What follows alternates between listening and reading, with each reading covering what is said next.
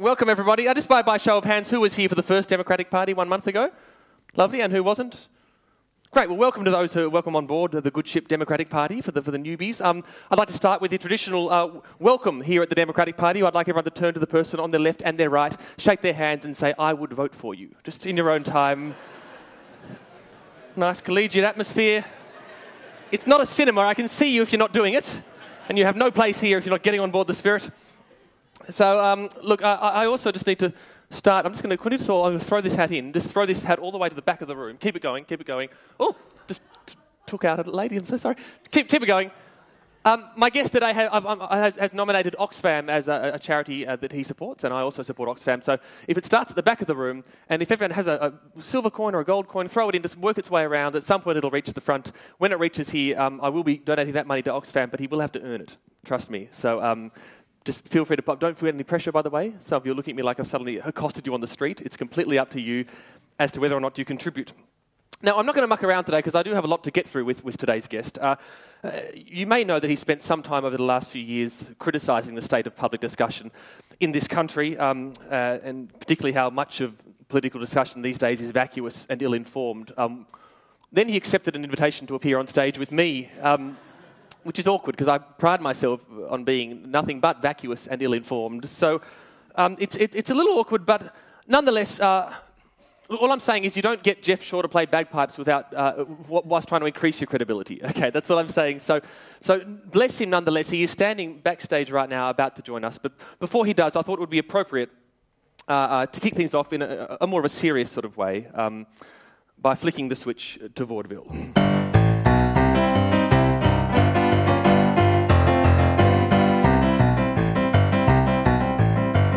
Roll up Take a ticket, you can get a seat up front. If you're quick and you can watch one quarter of the Gang of Four. Rural Gippsland, born and raised, duxed his school, or so he says, kicked off his career in law. Entered Parliament in 93. It's a little known fact, but he actually beat Julia Gillard for pre selection. Awkward. Hit the sticks in 96, 11 years suffering Howard's tricks, then finally struck gold with Rudd's election. And Mr. Tanner, so they say, could have been PM, but Mr. Tanner walked away. Back in 2010, left his seat undefended, it got gobbled by the Greens which ironically and perfectly encapsulated the collapse of Labour's broad support base, which he has since made a healthy living from discussing. But questions still remain. There are secret vaults inside his brain. It's time he did the right thing by the people. So, Mr. Tanner, flick the switch, cause now's your chance to have a bitch about your former colleagues in a safe environment. Cause Mr. Tanner, so they say, is a really lovely guy, but it's time to crack him open. So, by God, I'm gonna try, cause every word he's ever spoken is so freaking restrained. So let's put him to the test. And please welcome my guest, the former federal finance planner. It's Lindsay Tanner.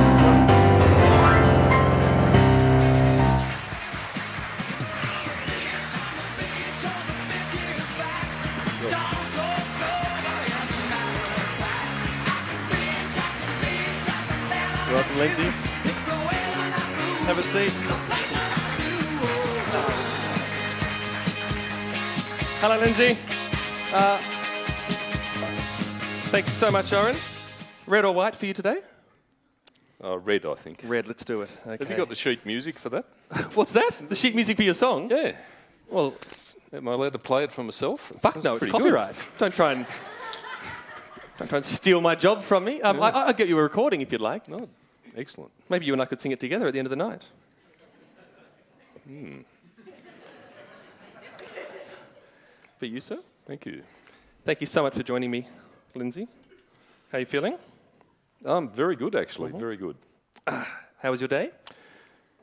Uh, pretty good.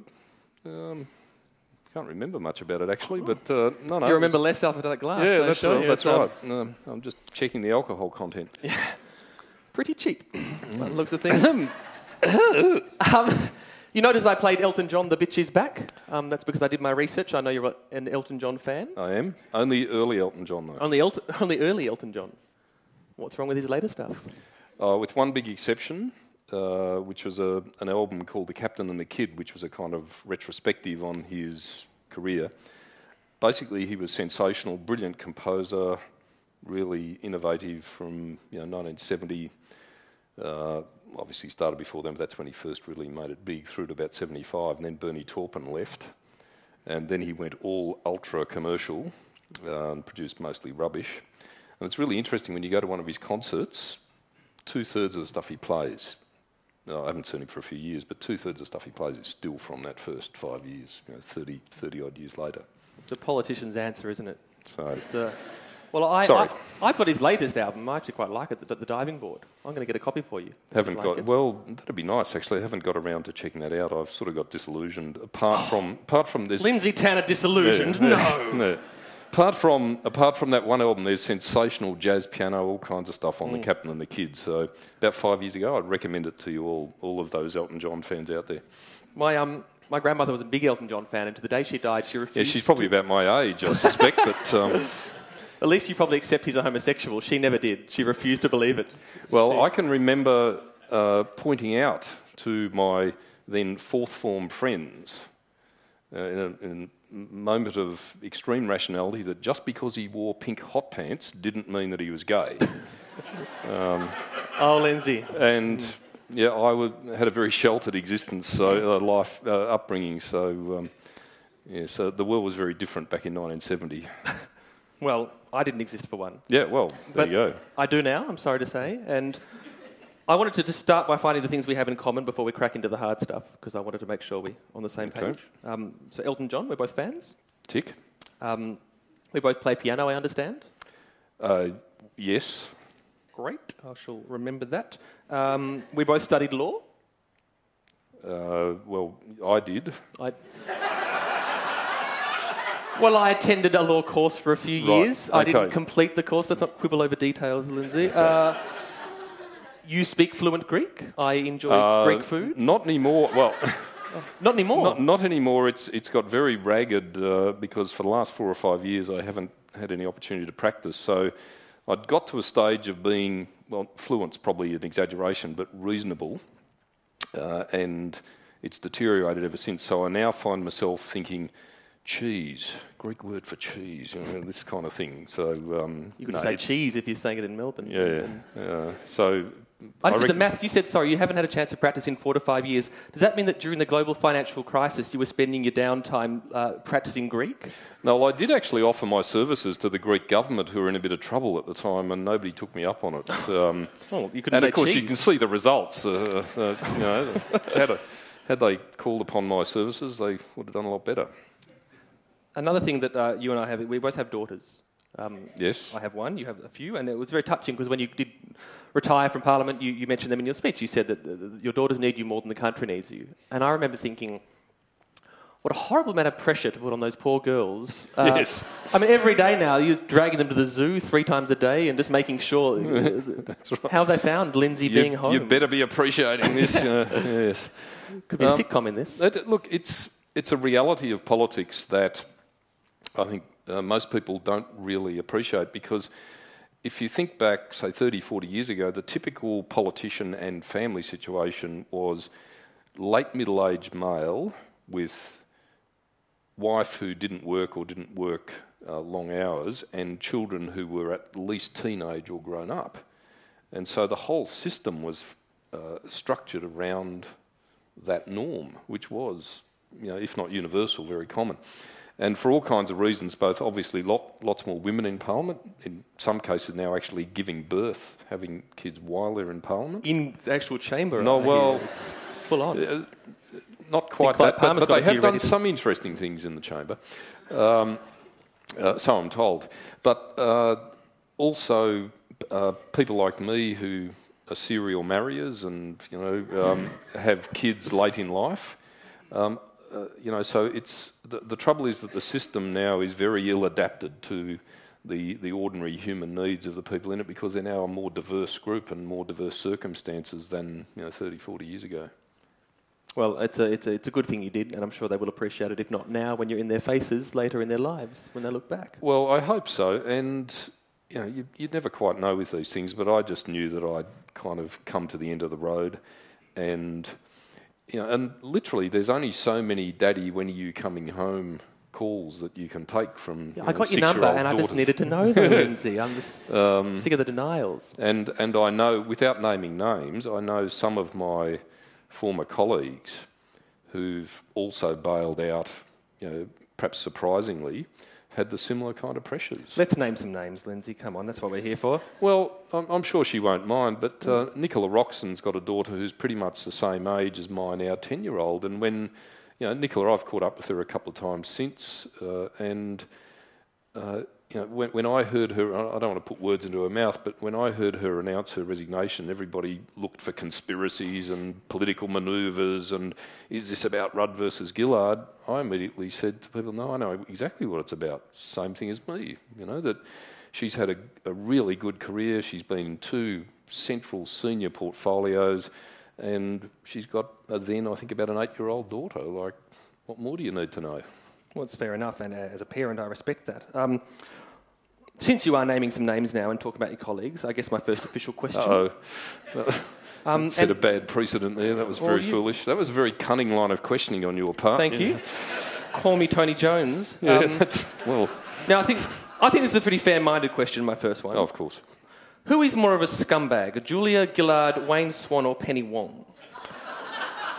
You can answer in Greek if you want to be tricky. Look, I wouldn't see any of them as scumbags. They all have their strengths and weaknesses, as we all do. Weaknesses, did you say? Oh, well, indeed. Please elaborate, Lindsay.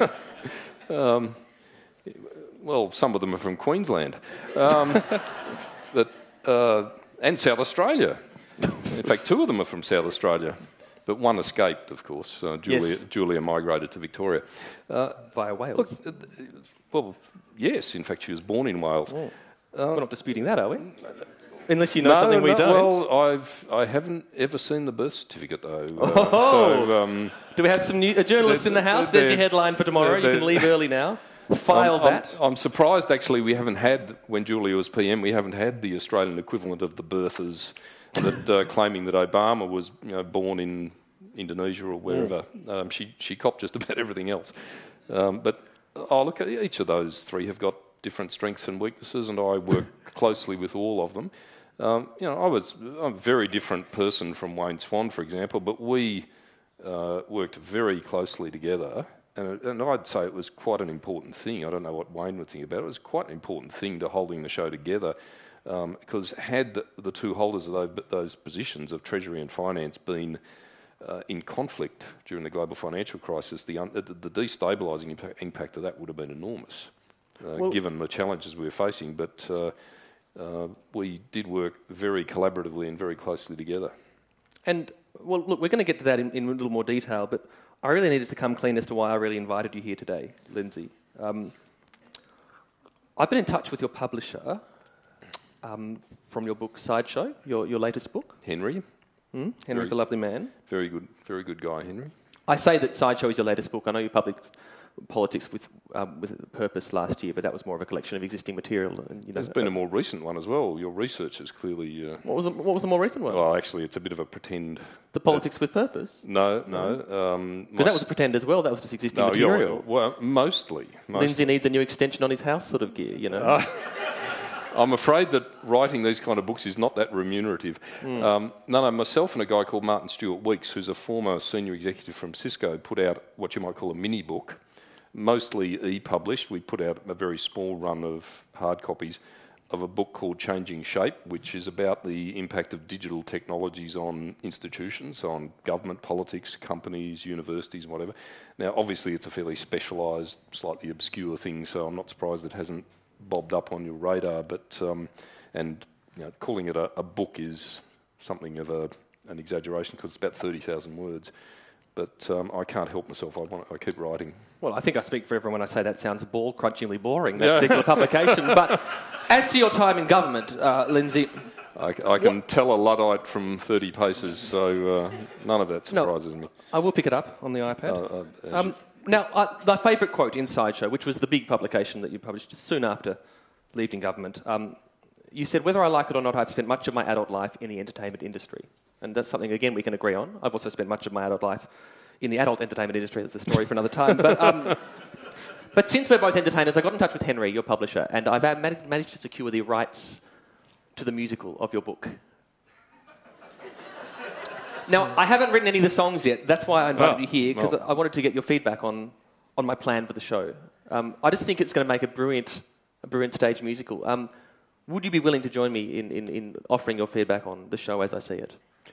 Uh, yes, I think I can probably manage to collaborate. Put it there. Partner. There we go. Let's do this, Aaron. Ladies and gentlemen, we wish to advise that during tonight's performance of Sideshow the Musical, the role of Lindsay Tanner will be played by Hugh Jackman. It's pretty about, good. About right. Great. About right. So, first scene. Okay, curtains come up. Packed auditorium up at Princess Theatre. It's election night 2007. It's a big production number called Let's Get This Party Started. Uh, everyone's wearing Kevin 07 shirts and, you know, real leadership signs, and there's a big blow up John Howard, and Maxine McKew comes and pops it. And, and, and, and, and it finishes with the character of Lindsay Tanner, your namesake, our protagonist, and he's left alone in the spotlight. And he sings a touching ballad called Something Doesn't Smell Right. am, I, am I in the ball ballpark at the moment? It sounds excellent, actually. That's, um, I, I've secreted in my chair. I'm sorry to say that. I've, I've got the front page of The Age, the day that Rudd was elected, the day after, uh-huh. because I'm a um, massive loser and I keep important newspapers at home. Rudd romps to historic win as Howard is humiliated. I, w- I remember where I was. I was up at the Spiegel tent with a bunch of fellow lefties, and we went nuts that night. I was grew up in the 90s. It was the most incredible, you know, it was the first real political win in that sense. Were you swept up in the euphoria or not at all? Oh no, I was, but uh, the the one thing that uh, really the the memory that is most vivid uh, for me of that night uh, is you know, we we always every election I you know uh, was elected half a dozen times uh, at the Elderly Sits Club at next to Collingwood Town Hall. We'd have our party, and it's you know pretty rough and ready affair, and there'd usually be a couple hundred people there, or if we're getting smashed, forty or fifty. Um, uh, but this one, of course, was full on. But my most vivid memory of that night is about eight or ten uh, Sudanese Australians most of whom I knew, some of whom I'd done a lot of work for, who were just celebrating uh, with such verve and such passion, uh, and who'd contributed to my local victory, and I'd done a lot of work with and continue. And since I've left politics, I've still done quite a bit of stuff with the Sudanese Australian community and or South Sudanese, and also other African communities. Um, but what was particularly significant was that shortly before the election, the then immigration minister had made these comments that really were coded messages for these people don't belong here. And for those of us who've grown up secure uh, in the knowledge that this is our country and that it's basically safe and that we have good standards of living, we cannot really appreciate what that means to somebody who has spent 10 years in a refugee camp in Kenya after having seen half their family murdered. To have the person who's responsible for immigration in this country more or less say, well, you, you're not fitting in, you don't really belong here. The subliminal message is, we're going to send you back. So to see the joy, uh, both uh, for participating in the, the democratic choice and the changing of government uh, in our country and their adopted country, and the sense of relief that now there was a government that wouldn't be putting out these signals was really uh, quite a moving thing, and that's the thing that's kind of stuck with me from that night more than way more than anything else. Uh, despite that, though, there was also sort of bad news for you in the sense that that was the first time in over 100 years your seat became marginal. Is that correct? Uh, well, not quite, because it depends how you look at it. Uh, in 2001, the Tampa election, uh, I had a huge problem, and ultimately, it's, it's impossible to measure precisely because they, uh, the Green primary vote didn't get ahead of the Liberals, and so there's no proper distribution of Liberal preferences, so you can't measure exactly. But my rough calculation suggested that in 2001, I held on by about 3.5%. And had, had I lost 3.5% more of my vote to the Greens, then Pamela Curr, who was the Greens candidate, would have won and I would have lost because she would have got ahead of the Liberals, got their preferences, etc. Uh, and there was even an instance in 1990 when Gerry Hand, my predecessor, was only about 5% away from losing to the Democrats for the same kind of thing. So it's a little known quirk of the system that a non major party in a traditionally safe seat, uh, if they've got a strong campaign and, and take quite a bit of votes off the major party, they can actually knock you off. Alexander Downer almost lost to the Democrats in, in his seat in South Australia the same way once. So, um, but but yes, it uh, it was a bit sobering that everybody else had triumphed and I'd gone backwards. that that was kind. Of, hmm. It was the start of the next three uh, years, wasn't it? Yeah, so it was, um, that wasn't wasn't very wasn't the, very good. The curtains close on your, your reminiscing at this point. Sorry. No, no, no. This is the, the, stage. This is this is. Oh, oh, sorry. No, no, I, thought no. That was a, I thought that was a subtle hint to shut, shut up. up. But, uh, okay. No, that's, that's what you're here for, is to talk. Oh, I like you talking. Right, I right. encourage it. Sorry. It's brilliant. No, no, but I'm simply returning back to the theatre now, Lindsay, because um, uh, the curtains close, and this is the point when if this production was to be done by um, a school production, for example, you'd put all the sort of untalented kids in this next song because you just need to whack them all in so the parents don't get angry about the school fees they're paying. And so the curtains open, and this is a song with everyone dressed up as newspaper journalists. And the song is called Stop the Press, which is a sort of double meaning. Sounds I hope you appreciate it. And, um, and, and, this is sort of tightly choreographed, politicians all taking selfies and Rudd's with Rove, and you're kicking a football with Billy Brownless, and it's all the sort of silly, silly things that people have to do in politics. Um, I'd like to ask you why you haven't appeared on Kitchen Cabinet with Annabel Crabb. Uh, well, Annabelle was smart enough not to ever invite me. Really? Um, she probably knows, has heard something about my cooking capabilities.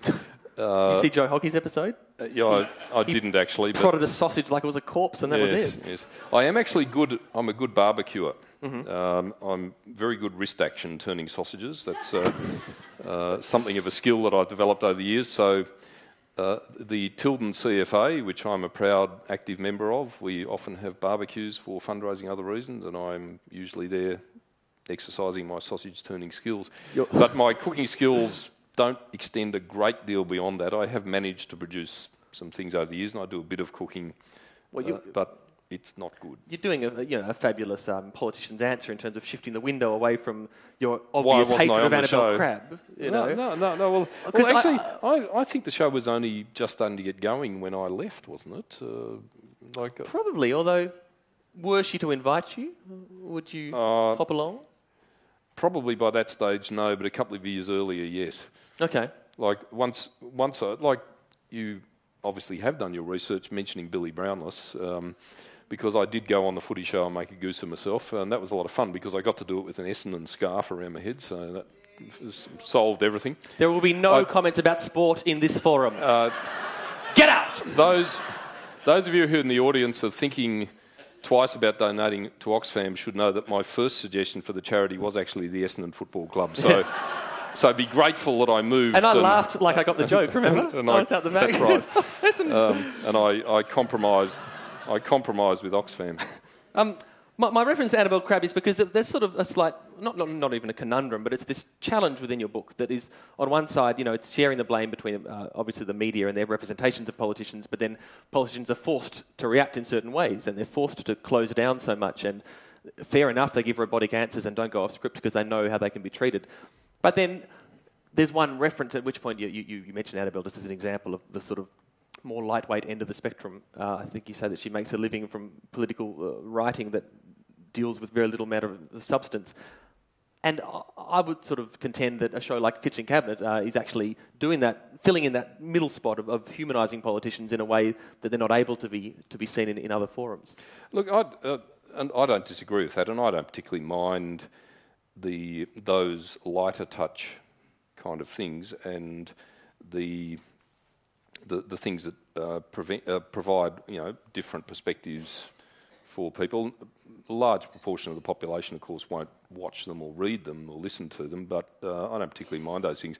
My complaint is that we are heading towards a situation where that's all there is, where uh, basically, if you want to know about the nation's fiscal policy or plans to improve productivity, the way you find it out is to watch Joe Hockey cook a sausage. Um, now, I'm that, not that good at decoding body language, so uh, you know, that, that's, that's really my complaint. Is that I, I don't, there's always been theatre in politics. There's always been humour. There's always been vaudeville, and up to a point, it plays a really valuable role because it, it improves accessibility. It makes things a little bit less turgid and dull. It provides some different dimensions to the characters that, that hopefully stimulates a slightly greater degree of understanding and interest. Uh, so I'd be the last person to say just get rid of all that stuff. My complaint is that the serious bits are melting away, and, and really it's because of the way competition in the digital world works. So that the media 20 years ago used to be able to have a mixture, even though it knew that the serious stuff wouldn't rate. Mm. Even though it knew that the serious stuff, basically, most people weren't going to listen to it. Uh, because there was a, a, stronger sense of public service, but also they weren't under such intense competitive pressure. So the thing that's driving this is that they can no longer afford to allow anything that is in the remotest bit boring into the ingredients. So that I, I had a bit of a, a, a kind of wake up moment on this years ago when the bloke who ran a current affair said to me when I was complaining to him about this, he said, Well, every time we put a politician on a current affair, 100,000 people change the channels. Literally. That's it's good for your self confidence. He wasn't. He wasn't joking. He was just saying this is what happens, and of course I was able to pretty well quickly work it out. That means lower ratings, lower advertising revenue. This is a commercial organisation, so I can hardly blame them for therefore responding to consumer demand. Isn't that a stronger argument for the ABC in general? Yes, and and in a sense, uh, the ABC's been a little bit influenced by this trend, and a, uh, that's not necessarily a bad thing because you don't want the ABC to be some sort of immutable monolithic relic of you know 50 years ago. So if, if the world's heading in a particular direction, you know, it indirectly competes with other media outlets. Uh, so it's it's been influenced a bit, even SBS probably to a degree. Um, but the ABC to me is one of the most profoundly, fundamentally important institutions in our country and uh, whatever your political position is, it's a really, really um, a, a, a, a, sort of foundation stone of things that make Australia what it is, keep it together. And now that I live back in the bush, I appreciate even more just how important the ABC is in country Australia. It's something that people in the cities often miss, but uh, forget about all the politics stuff and the arguments about whether it's left wing and so on. Who cares? Uh, as as a kind of a social institution, it, uh, a lot of uh, rural Australia really relies on the ABC as a as a kind of a hub of information, activity, entertainment. The lights have gone down, oh. and the curtains close again for a reset. And out comes a little nerdy twerp with glasses by the name of Kevin. And he now sings a song, a patter song, of course, because it's Kevin. It goes for seven minutes and it makes very little sense, but it's called I'm Suffering Derision for My 2020 Vision. And it's set, it's set at the 2020 summit in 2008, which to me, when I look back at that, I think, doesn't that signify the ultimate uh, uh, success of style over substance? Because I was swept up in it. I thought, oh my gosh, how brilliant. Look at this, isn't exciting where, our nation is moving forward. But I look back and think, well, was it just clearly a very, very clever PR exercise? Look, I don't think it was intended as such. And I think uh, if you look back and ask, was it successful as a PR exercise, the answer is probably no. Uh, so I don't think it was intended as such. And I think the, the results are a bit mixed. So there were, there were some good uh, ideas tossed around and some interesting things emerged, and also I think some interesting connections formed between people from different walks of life and people who are leaders in different spheres of activity who may not often get the chance to interact. Uh, but in some respects, I think you could look back at that and see that as, as the height of the optimism and energy of a new government uh, that is about to get ambushed by the biggest global economic crisis in 70 years. And so the uh, so, so in, in a sense, it, it, was a, it was a creature of particular circumstances. I noticed that you weren't, of all the senior government figures, you weren't co-chairing any of the committees there, and it sort of strikes me that was that a purposeful move on your part? Oh, no. Um, one of the weird things about the finance portfolio, which is not widely understood outside, is that you're kind of involved in everything but in charge of not very much. So uh, when you start dividing things up into silos, as inevitably you have to do with something like 2020 Summit, and you'll have a kind of health discussion and an education discussion and an economy discussion and whatever, then the finance minister doesn't fit anywhere. So really that's a product of the nature of the portfolio. So the great thing about the portfolio uh, is that pretty well all serious decisions in government ultimately are determined – not necessarily by themselves, but ultimately are determined by a handful of people, by half a dozen people. And it's not always the same people, but there's two or three who are pretty well always in the room. The Prime Minister, pretty obviously. Um, the great thing about being the Finance Minister is you're almost always in the room. So you may be the fourth or fifth most important person there, with or the fourth or fifth most significant clout in that decision. Uh, so if it's a big defence decision, then the defence minister is obviously a bit more important than you are, but the thing is, you're in that in that discussion, and following day there's a big health discussion. You're in that one as well. So the finance minister's role is kind of spread right across the government, but is not a high profile. Okay, if it's about this chunk of stuff, I'm in charge. That's the explanation. Well, that leads us beautifully into our next song, which is called the Cool Kids Club, and that's all about the Gang of Four, which you've basically mentioned how, you know, as you say, decision making was really boiled down in so many cases to this group of yourself, Prime Minister That's Kevin right. Rudd, Julia Gillard, Wayne Swan, Penny Wong, not to drop in occasionally, I understand. Oh, only on climate change. Okay. And, she was uh, the fifth Beatle. Yeah, well, yes. Peter Best. so, look, in this, in this choreography for this particular song, I think in the musical, um, uh, the Strategic Priorities and Budget Committee, as you were officially known, um, uh, come out, you know, sort of West Side Story gang battle um, to signify their internal uh, divisions, and each has their own weapon. So I've got Julia with a knife, naturally. Um, uh, Kevin holds a copy of his Newspoll popularity figures. Wayne Swan has a generally irritating, smug demeanour. Um, what was your weapon inside that room when you were pushing your agenda? Hmm. the cashews and jelly beans that were on the table in the uh, meetings all the time. I think we That's have one of the little known facts about and why I'm now quite a lot thinner than I was then. Um, is that in the cabinet room, the, the, and I think this was a deliberate plot by the public servants, the cabinet room's got this giant kind of sort of cigar shaped table. And you go, and we have all these meetings there. There were odd days when I was in that room, and it's got no windows, nothing, and, and uh, it's about the size of well, maybe a little bit smaller than this room. And uh, you go in there, and all the way around, there'd be a bowl of cashews and a bowl of jelly beans, and about two people apart. And I've got a lot of willpower on many things, but cashews and jelly beans, I've got none. So I would literally sit there through these meetings going like this the whole time. Then, when mine were empty, I'd start on my next door neighbours. Uh, and uh, are you saying that cashews and jelly beans got Australia through the global I think financial they, crisis? They played a very important, very important role. Very important role.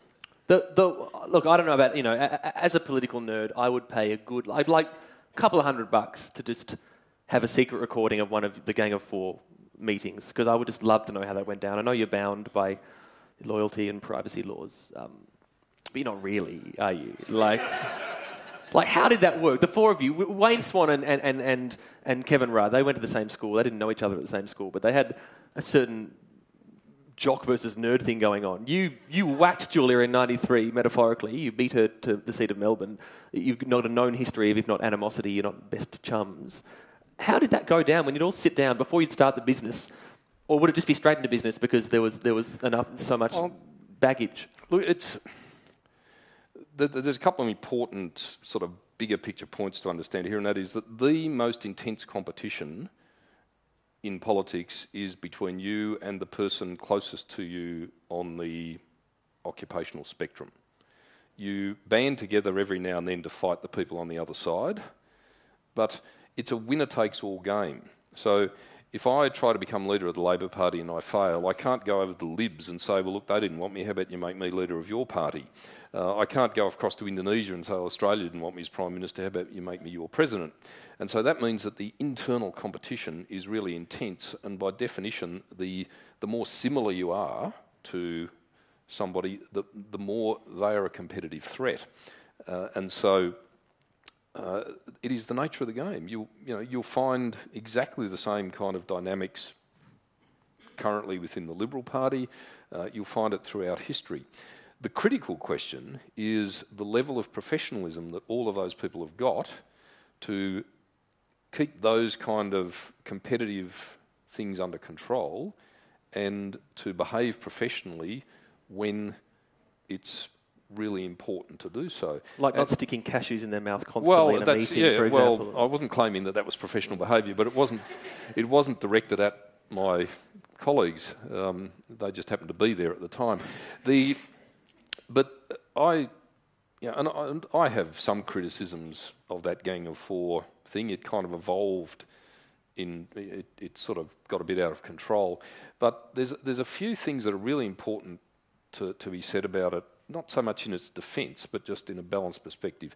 First, you had four people who, between each other at various stages over the last 20 or 30 years, had been intense rivals and fought battles with each other for positions and all represented very different kind of strands of culture and thought in the Labor Party, who were able to uh, uh, to come together and work very professionally in a very dedicated way and put all those rivalries aside to deal with an unbelievable challenge and in a way that I think was successful.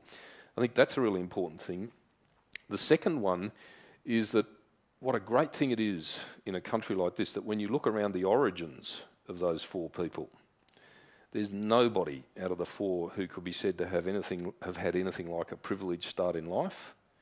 Uh, all four of them came, all four of us came from fairly obscure, nondescript backgrounds. There's no nobody really dirt poor or anything like that, but uh, three of us, three out of the four from uh, country Australia. Um, uh, Julia from uh, suburban Adelaide, and all of us with sort of family backgrounds that were pretty middle of the road, nondescript, and certainly not connected to existing power structures, no family connections that enable us to get a leg up. Now, I don't say that to advertise the merits of this group, just say how great it is in Australia that that's the case because there's most of the world you don't have that. Most of the world, if your name is Clinton or Gandhi or Bush or whatever, you're immediately got the inside running.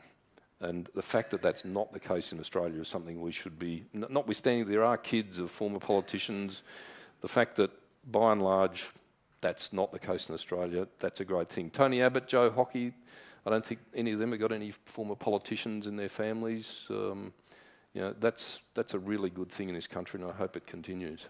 Hear, hear to that. I um, I was on Wayne Swan's Facebook page this week, just noodling, and you can look this up. Uh, three days ago, he, he he had a photograph of he and Julia Gillard at his own birthday party. He had a birthday this week, and he said, "Good to catch up with old friends." I thought, "Where's Lindsay?" Scrolled through all the there was a Bruce Springsteen cover band, and they're all wearing funny hats. No Lindsay. possibly I was in the cover band as well disguised. um, no, look, I. Well, the, the, the, what's you can have a cry if you need. to. Yeah, I- yeah. I- what's the obvious thing that's missing here? That I've been out of Wayne's immediate context for four years. Mm-hmm. You know, so he had a a much longer at the top of the the whole thing relationship with Julia than with me. Um, and uh, you know, it's hardly surprising that, that, particularly after what they went through, and you know the way it sort of all ended, and so it's hardly surprising. There's a pretty strong bond that's formed. Do you have much contact at all with any of your other three Gang of Fours? Oh, look, I've had since I left a, a little bit odd things here and there.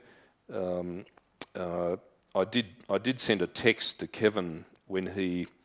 Uh, we used to have this running joke when we were in opposition that um, thousand dollars for your campaign if you stand up and do X, X, X would be something totally outrageous and ridiculous. And so I sent him a text after he got re-elected saying $1,000 for your campaign if you, your opening words are, as I was saying when I was rudely interrupted. Um, uh, unfortunately, fortunately for my wallet, uh, he didn't say those words, but, um, uh, but by and large, very little. My did he write back? That's the important question. Um, he did text back. Um, and what did he say? Uh, at, I think it was 1.30 in the morning or something. This is sort of typical Kevin performance. Um, what are they saying about me? What, is that a joke? What? Uh, uh, no, he didn't refer to that, but um, uh, he, he, didn't refer to my offer. So oh, really? No. Just a sext or something, was it? Uh, what, what would he do?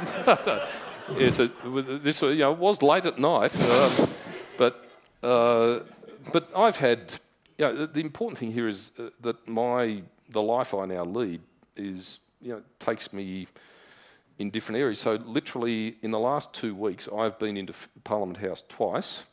That is the first time I've been there since I left in 2010. Really? Yeah. So and I've been been there for work related kind of reasons.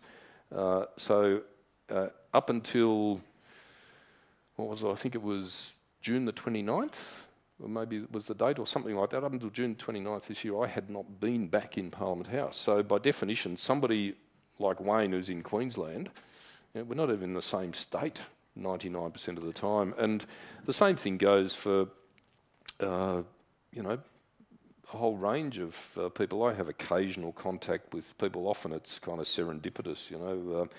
Uh, uh but um, do you have any close friends from your time in Parliament who you still? Uh, I do.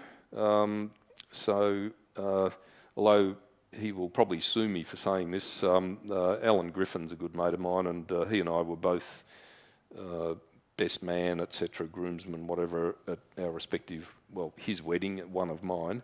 Um, and, uh, um, you know, we, we go back a very long way. We both got elected in the same year, but uh, we were very close colleagues in the, and uh, mates in the union movement and the Labor Party going back into the 80s and so on. I'm good mates with Anthony Albanese. You know, again, that goes back to when he was 16 and crashing on my floor at Young Labor national conferences and stuff like that. So um, I still have a, you know contact with people like that, and um, uh, you know I'm good mates with a former National Party senator, Sandy Macdonald, who's a really good guy, and I you know I catch up with him every now and then, and um, so on. But uh, but you know the, like uh, as with I think a lot of people, you know, you move on to different stuff, and so you know, we're, we're all creatures of our context.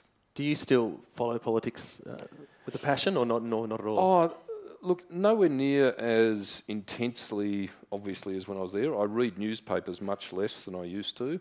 Uh, I I tend not to watch the. Uh, you know, I don't go out of my way to watch the 7:30 report or anything like that. I you know, watch these things occasionally. Uh, and every now and then something will make me angry. Uh, the, um, the, the thing that really upset me uh, during the the last election campaign in the last week was the announcement of that the coalition was going to do huge cuts to the aid budget, uh, which to me is not just an issue about helping people who are much less well off than us in various other parts of the world, It is a fundamentally important thing for Australia's national interest. Uh, that we go out of our way to share our good fortune and therefore entrench our relationships with the emerging countries in our region. So every now and then there's things like that that get me agitated.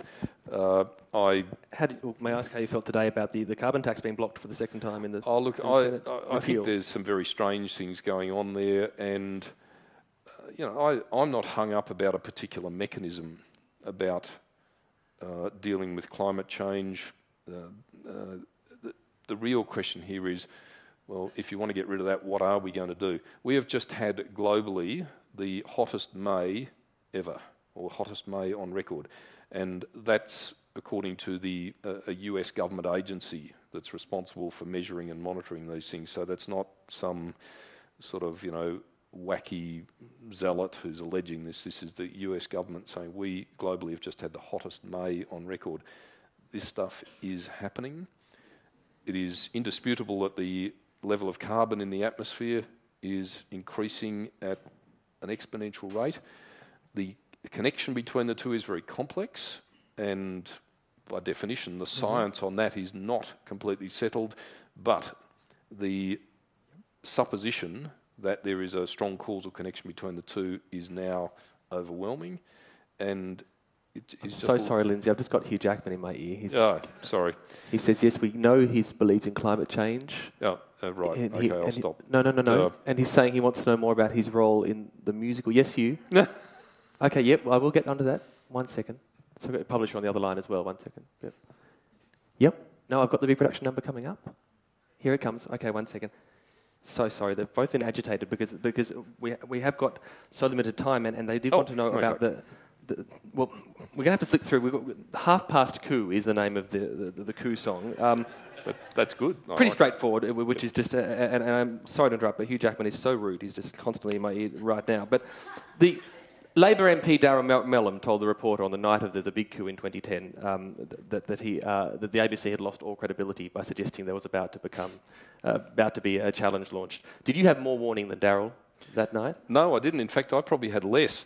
Uh, I, uh, my evening that night was very odd because bear in mind that the following morning, uh, leave aside all these events, what was going to happen on, in my diary on the 24th of June 2010 was I, I was scheduled to meet with Kevin at 9.30am where I would confirm with him what I'd already told him several weeks ago that I was not going to recontest pre-selection, so I was retiring. And then after question time, I would stand up and announce that and say, thanks for having me, folks, see you later. And of course, uh, so I was not, shall we say, paying as much attention as normal to the internal intrigues that are always going on. And we had with us in my office that day uh, Shane Maloney, who many of you will have read his fantastic Murray Whelan series, and uh, some of you will know. And Shane was sort of just generally pottering about and doing a bit of research and so on. And we ended up going out to dinner at this Canberra pub, uh, which I, I don't remember the name of because I don't think I'd ever been there before and I've never been there since. Um, and Maria Vamvakinou, the member for Calwell, was there, and a number of staffers, and myself and my uh, staff member Mary Day, who's good friends with Shane. And the news started to come through from my media advisor early on that you know there's all this stuff on Fox uh, News about you know Kevin being rolled as leader and whatever, and they're saying that there's a crisis meeting in Kevin's office and that there's you know John Faulkner's there and this person's there and you're there, and. I, and I'm in the middle of talking to Shane about Murray Whelan, and, and in a much nicer place, you know, because I love the Murray Whelan books, they're so good, and Shane's really entertaining to talk to. So I'm kind of going, well, that's obviously rubbish. I'm, I'm not in the Prime Minister's office, I'm here. And so by the time the temperature had risen, it was getting to about 9.30, and it was becoming quite clear that, in fact, something really big was happening, um, and I started to pay attention. It was kind of already all over. Uh, and, and so we finished up about 10, and I drove back to the place where I was staying, and was starting to get phone calls from backbenchers and so on. And by this stage, the die was cast. So I was more in the dark, probably even than Daryl. Uh, and um, the, the main reason was that I was literally about to stand up and say, I'm out of here. Which, is, which brings us to your, your ballad in the musical, um, uh, the Lindsay Tanner power ballad, My Time to Shine, uh, which is, again, an ironic title because just as you're about to make a big announcement, you get trumped in the news Well, by this coup. Indeed. It's a bit like how Mother Teresa chose to die a week after Princess Di. You know, you, you- it's, it's very, very selfless of you just to slip through. Um, but it's a dream sequence, this scene, Lindsay. Um, it's a dream sequence because every, every musical needs one. And so at the end of announcing your retirement uh, to an empty chamber, I know it wasn't empty on the day, but it's easier to cast that way. Um, Lindsay slumps in his seat there in Parliament and has a dream. And in the dream, the ALP beg him to stay. Julia Gillard only uh, lasts three weeks, then resigns. You are elected unopposed as Prime Minister of Australia. And you must choose your dream gang of four. You must assemble. But the rules in this dreamland are one must be a current MP, one must be a retired MP, and one must be a dead MP. Who is Lindsay Tanner's gang of four? Okay, current MPs. Hmm, that's. Pretty pathetic bunch to pick from, isn't it? Uh, um, sorry, sorry. Had no shortage of words for every other question. No, Trying no, to say no, a no, good thing about your colleagues indeed. now. You could have put this one on notice. It would have Oh. been a bit helpful. Um, look, that, I think probably on balance, of or, or current at that time, uh, on balance, the the person who's uh, He's who I spitting the words out, isn't he? yeah no no sorry sorry You could just say Bill Shorten and get over no. it. No, he's not. I think I'd probably say Penny Wong. Penny Wong, yep. um, who I was rapt to see her get my old portfolio. I'm a huge admirer of Penny. Mm-hmm. I think she's a person of great integrity, uh, uh, great intellectual capacity. But there's a there's a number of others Well, that I'm also big admirers of. Uh, so Penny re- Wong, retired poli- Retired. retired politicians. Um, this will be an unlikely one for you. I was just talking to him on the phone yesterday. My book's dedicated to him. I'd uh, give Barney Cooney a call, former senator of Victoria. who you worked for. In who I worked for for a couple of years, a great mentor of mine, the most unpolitician like politician in human history, uh, in the sense that he lacked any ego or serious ambition, and one of uh, the most genuinely, and I say this as a kind of non religious person, one of the most genuinely Christian people I've ever met, probably the most. Uh, an extraordinary man and somebody who anybody out there who's involved with politics or interested in a political career, if you want a role model and a mentor and somebody with great wisdom, uh, then he's he's the person that you should look to. Uh, for the dead politicians, um, dead, God, So you've got around the table right now yeah, uh, Lindsay, Penny, Barney. dead dead politicians. Um, that's You could say Bill Shorten again. Yeah. uh, yeah, look, it's. I don't know. Most of the dead politicians, thankfully, are a bit before my time. My, my dog's name is Chifley. Yeah, oh, I, I did. I'm pretty old, but I've never met Ben Chifley. Um, Well, you read the books. He was pretty good. Yeah, you know, he, he sounded pretty good, but it's a different, uh, um, a, a very, very different time.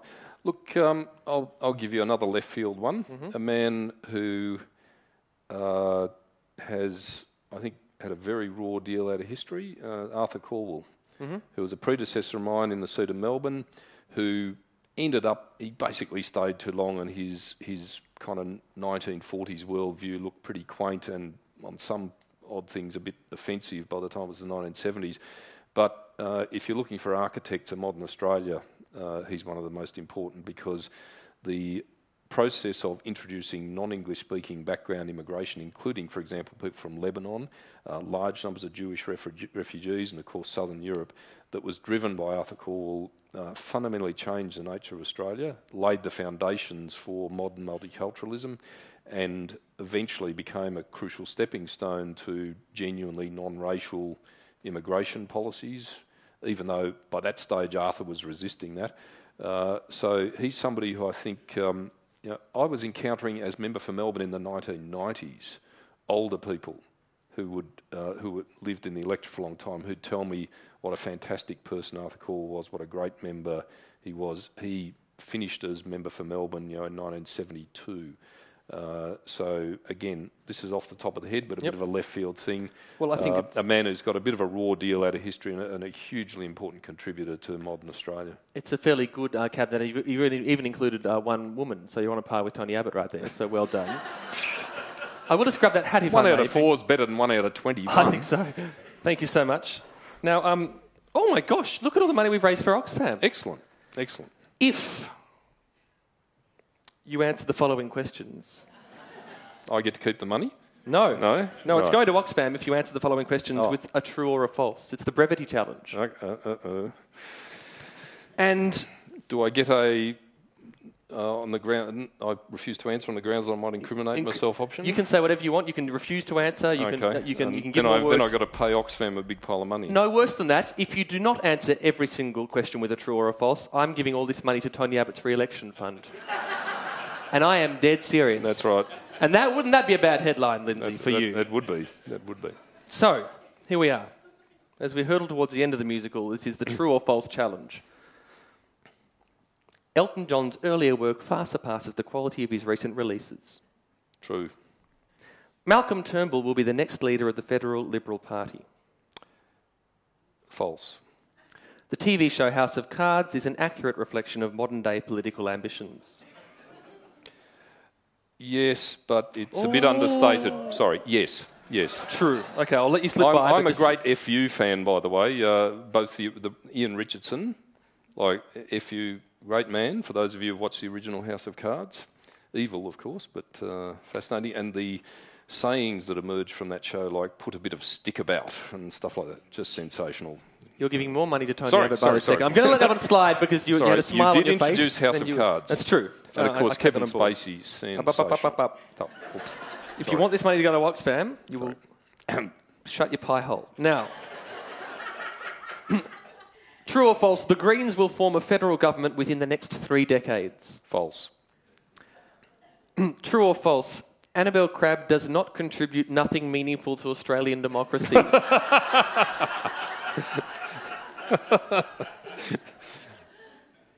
Let me run that through my mind again. um, true. okay, good. Uh, true or false, Peter Garrett's greatest legacy was musical, not political.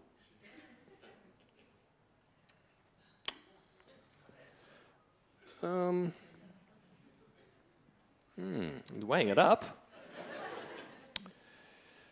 yeah, look, I'd, I'd say. I'd, Mr. Abbott, take my money. This came from Lindsay Tanner. True. Write the headlines. True. Ooh, there it is. True. True or false? Just.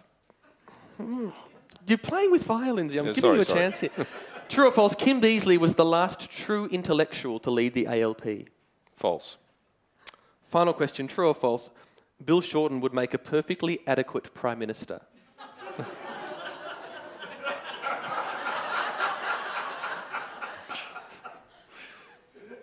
No, I, I, I have stopped beating that well known person I'm married to. Um, answer yes.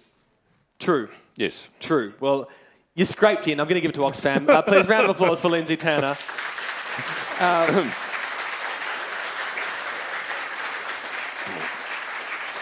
Lindsay, we, we didn't even get to, to, to, the ragtime number six weeks in a leaky boat, in which you confessed to having been behind all the leaks during the 2010 election, but we'll take that as a given. So, um, but, but the final scene of our musical, uh, it, it takes place in Parliament during the heady days of opposition, because I did do some reading, and you have mentioned how many, uh, good, how many, many good times were had in Parliament around the piano, in the piano bar, in the lounge, and you said there was a bit of almost impromptu bands that sprung up during your time. There was. Were you in those bands? I was, although calling it a band is probably something of an exaggeration, but we had people like Phil Cleary, uh, Barry Cunningham, uh, Gavin O'Connor, all of whom played musical instruments moderately well. Uh, and in those days, parliamentary sittings went typically much later than they do now, and so you're kind of in there, you're exhausted, you're bored, you're too tired to do any serious work in your office, so you're up in the that little alcove uh, next to the parliamentary dining room where there's a piano and sort of messing around. So it was good. Well, it just so happens I've got a piano here, Lindsay. And uh, I don't want to put the pressure on, but last show um, finished with Maverick MP Jeff Shaw playing the bagpipes. And I wonder whether you would. Uh, I didn't know that bit. was in he any the- good? Uh, he, was, he was pretty amazing, actually, the bagpipes. Wow, Yes. Um, interesting. I've got a piano here. It's turned on. Um, and, and look, the, the challenge has been set. Would you be willing to create a tradition here at the Democratic Party whereby my guests do finish each show with a musical number?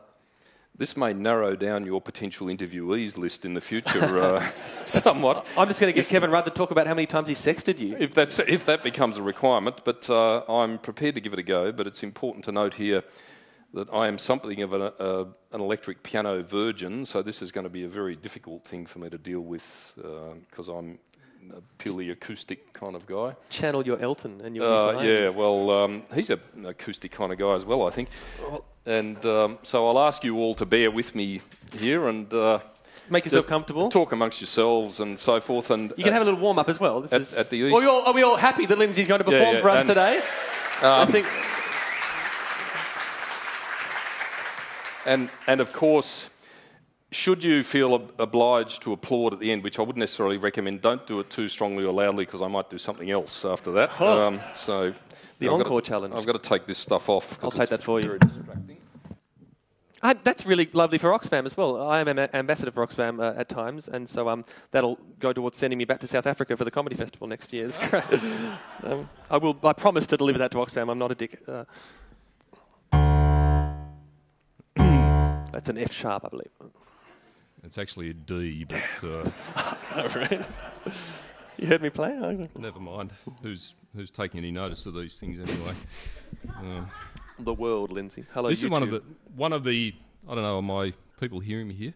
One of the great challenges of making speeches at events is that you, particularly when you're tallish like me, God only knows how Peter Garrett coped with it. You, you get up to, with microphones that are set down about here, and then you're either sort of bobbing and moving down like this, or you've got to fiddle with this stuff that invariably you don't know how to work, even though it's very simple. Uh, okay. What are, we- what are we hearing today? Um, this this is a particular song that back in my day, which of course is a very long time ago, every schoolboy. I don't think schoolgirls did this kind of stuff at that time. Maybe they do now.